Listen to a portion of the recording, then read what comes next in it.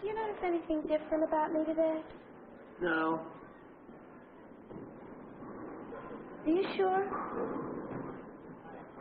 You got rouge on? So what's so different about you? I got my first period today.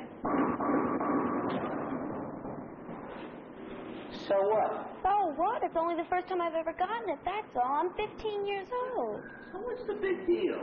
It means that blood is flowing out of my uterus.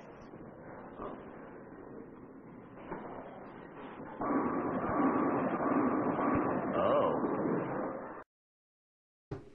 Hello, I'm actor Troy McClure. You kids might remember me from such educational films as Lead Paint, Delicious but Deadly, and Here Comes the Metric System. I'm here to provide the facts about sex in a frank and straightforward manner. And now here's Fuzzy Bunny's Guide to You Know What.